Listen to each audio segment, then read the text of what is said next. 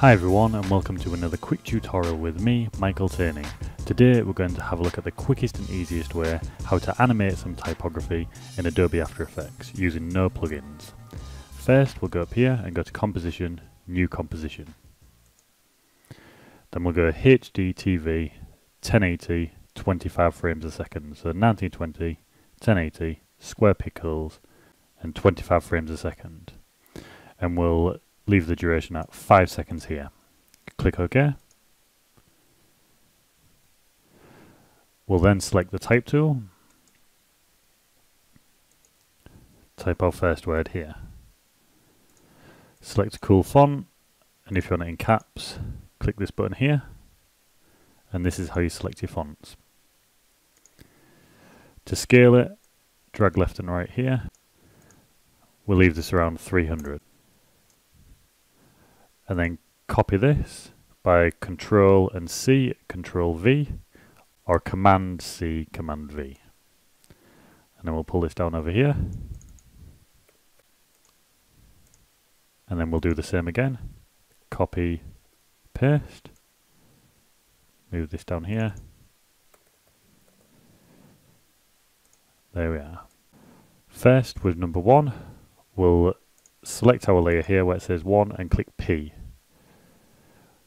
We'll move to around half a second here and we'll hit the keyframe. Move back to 0 seconds and drag this off to the left but hold shift so it keeps it aligned here. And now if we hit the spacebar we can see it come in. We can right click so select the keyframes here right click, keyframe assistant, ease in. Now this will go faster at the start and then smooth in and slow down here, like that. So we'll select number two and we'll make this a 3D layer by clicking this. If you can't see this option, switch the toggle mode here until it pops up.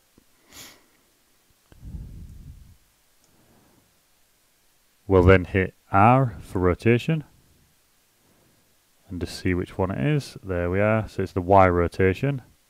To undo is Control and Z if you mess something up. We'll keyframe on the Y. Move that to one second. The keyframe.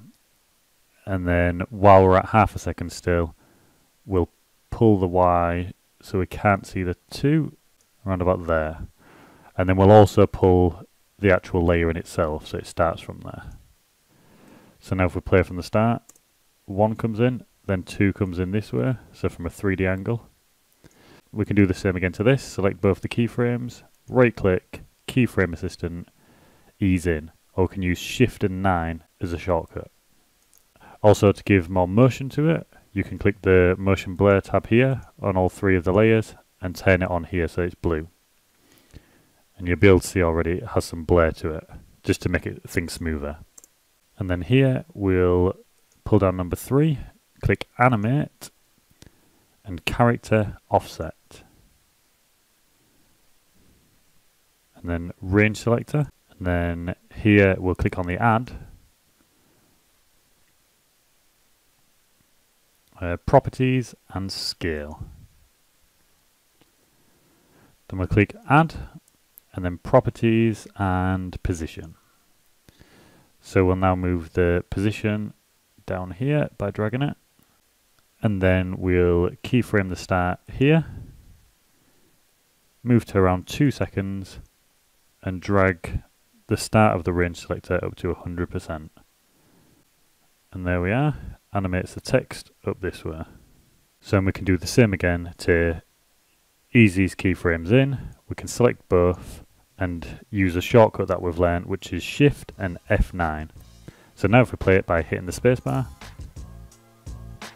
and there we are the quickest and easiest way how to animate some typography in Adobe After Effects. Don't forget to like, comment and subscribe and feel free to follow me on Instagram at tierney.tv thanks for watching